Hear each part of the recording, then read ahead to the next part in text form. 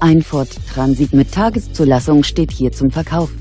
Der weiße Transporter ist zweitürig, bietet Platz für drei Personen und hat einen großen Stauraum.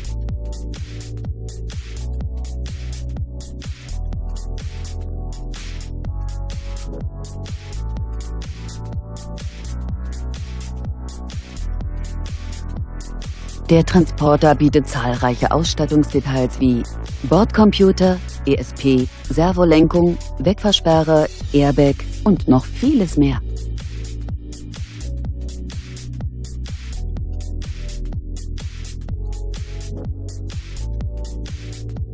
Das Sechsgang-Schaltgetriebe überträgt eine Leistung von 155 PS.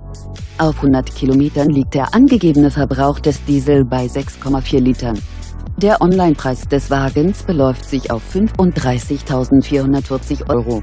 Kontaktieren Sie uns. Wir beantworten gerne Ihre Fragen.